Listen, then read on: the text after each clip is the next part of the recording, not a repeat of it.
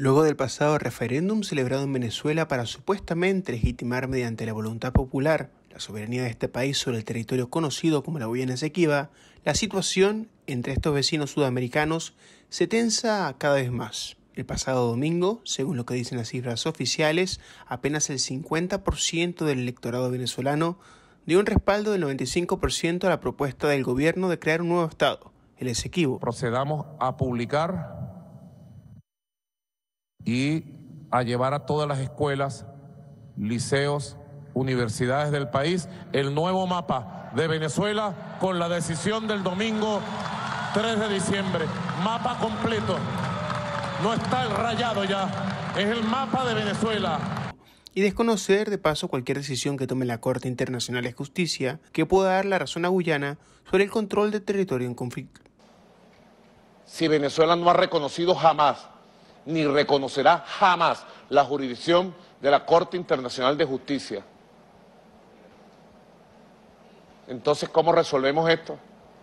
La clave está en la baja participación. El gobierno de Maduro enfrenta un gran descontento de una población que sufre las realidades de vivir en un estado fallido y con miras a las elecciones presidenciales que se celebrarán en octubre de 2024, donde la candidata de la unidad de la oposición, María Corina Machado, goza de alta popularidad la apelación al sentimiento nacional sería el recurso de última hora para oxigenar las debilitadas filas del agonizante chavismo. Aceptamos que Guyana se coja el mar por delimitar y reparta a la ExxonMobil, le entregue los bloques de petróleo que hay ahí. Nos quedamos callados. Que se meta hasta las costas del Tamacuro y reparta el mar desde el Tamacuro también. Que monte una base militar en la Guayana Esequiba apuntando a Venezuela. Jamás, jamás de los jamases, jamás de los jamases. Never, never, never. Never, never, never.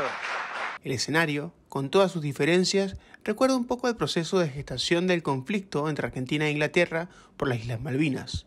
En abril de 1982, el país sudamericano se encontraba bajo el dominio de una dictadura militar liderada por Leopoldo Galtieri. En ese momento, su gobierno enfrentaba una seria desaprobación debido a la crisis económica, la inflación que afectaba a la nación austral y los asesinatos, desapariciones y torturas cometidos contra opositores. Galtieri y su círculo cercano concebían que una intervención en las Malvinas podría mejorar la imagen de su gobierno y poner fin a las críticas. Acá están reunidos obreros, empresarios, intelectuales, todos los órdenes de la vida nacional en la Unión Nacional en procura del bienestar del país y su dignidad.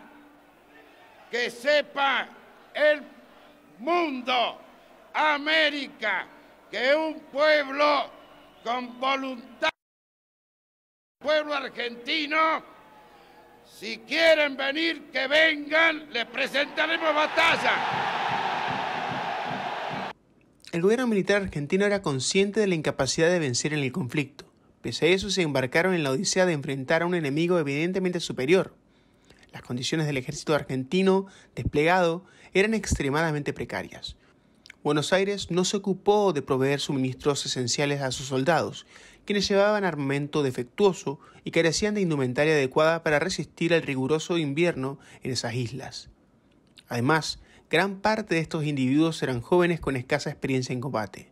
El saldo, para no extendernos, 649 muertos, sin contar los más de 400 suicidios de los veteranos con secuelas del conflicto, y alrededor de 1.680 heridos. Un precio alto pagado por la clase trabajadora, cuyos hijos, no los de los chetos vinculados a la dictadura, fueron enviados a aquel matadero. Tuvimos la certeza de que no había otro camino para recuperar nuestra soberanía irrenunciable que obrar como lo hicimos y así lo hemos señalado al mundo.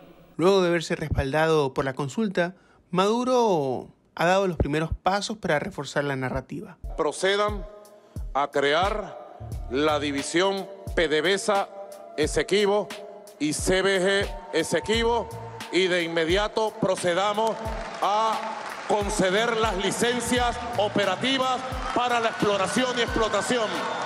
de petróleo, gas y minas en todo el área. Hace poco ordenó la instauración de la Alta Comisión por la Defensa de la Guyana Esequiba, conformada por entidades estatales y representantes de la sociedad civil. Simultáneamente, ha presentado el proyecto de ley orgánica para la defensa de la Guyana Esequiba ante la Asamblea Nacional, buscando su aprobación. Este proyecto busca establecer el Estado de Guyana Esequiba como una entidad dentro de la estructura política y territorial de Venezuela. Guyana debe saber que arreglamos esto por las buenas o lo arreglamos, porque esto va a ser una ley orgánica para todos los gobiernos y generaciones que vengan por las décadas de este siglo y más. Debe saberlo Guyana. Ley orgánica para defensa de la Guayana Esequiba. En el ámbito militar se ha informado sobre la activación de la zona de defensa integral de la Guyana Esequiba. Asimismo, se ha mencionado la creación de divisiones en empresas estatales con el objetivo inmediato de otorgar licencias para la exploración y explotación de petróleo, gas y minerales en toda la región de la Guyana Esequiba. También se ha destacado la implementación de un plan de atención social para la población del nuevo Estado y la aprobación de una ley especial destinada a la creación de áreas de protección ambiental en ese territorio, entre otras iniciativas. El tema de las licencias de explotación roza el ridículo, pues la Estatal de Petróleos de Venezuela, encargada de la explotación de hidrocarburos a nivel nacional, se encuentra en tal situación que no es capaz ni de aprovechar el petróleo con el que cuentan actualmente. La mayoría del oro negro es explotado por potencias extranjeras. Volviendo a lo militar, que es lo que más se asemeja al ejemplo argentino, el movimiento podría desencadenar un conflicto inédito en las últimas décadas de la historia de la región. Con la creación de la nueva zona militar, Venezuela ha movilizado a miles de efectivos a Tumeremo, una población cercana a la región en disputa. Mientras tanto, el presidente de Guyanas, Irfan Ali, ordenó el refuerzo de su frontera y aseguró que hará todo lo que esté a su alcance, dentro del ámbito del derecho internacional, para garantizar que su integridad territorial y soberanía sean preservadas intactas. Maduro ha tomado un camino que ignora el orden internacional, la Corte Internacional de Justicia y los principios internacionales de justicia, dignidad y honor. El mandatario guyanés también ha mantenido conversaciones con el gobierno estadounidense, quien se comprometió a hacer respetar el derecho de esta nación sobre el territorio. Tanto en el caso argentino como en el venezolano las causas son válidas. En el primer caso no se puede negar el derecho de los argentinos a reclamar la soberanía de un territorio anexionado por el imperialismo británico. La inmensa mayoría de los pueblos de América nos dieron una respuesta franca y clara, una respuesta solidaria y fraternal fue la actitud de los que siempre creyeron con pureza y sin segundos intereses que este continente tenía su proyecto y su destino y que su pasado colonial estaba muerto y convertido en polvo o rezago de la historia. En el caso de Venezuela no se puede obviar el interés que existe de la ExxonMobil en la región. Hay que tomar en cuenta los descubrimientos petroleros de la transnacional en 2015, tanto en aguas guyanesas como en las zonas marinas que reclama Venezuela.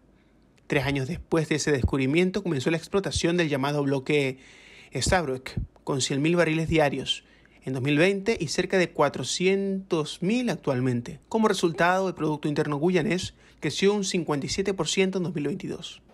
Entonces, ¿cómo resolvemos esto? ¿Ah? Aceptamos que Guyana se coja el mar por delimitar y reparta a la ExxonMobil, le entregue los bloques de petróleo que hay ahí, nos quedamos callados. Que se meta hasta las costas del Tamacuro y reparte el mar desde el Tamacuro también. Que monte una base militar en la Guayana Esequiba apuntando a Venezuela. Jamás, jamás de los jamases, jamás de los Aunque ambas reivindicaciones son válidas, solo se han utilizado como un glaciado de nacionalismo cutre y dulzón, con el que se trata de hacer geribles realidades que son insostenibles. Y lo peor de todo es que esas fórmulas que buscan salvar lo insalvable terminan pagándolas, incluso con sus vidas, los trabajadores.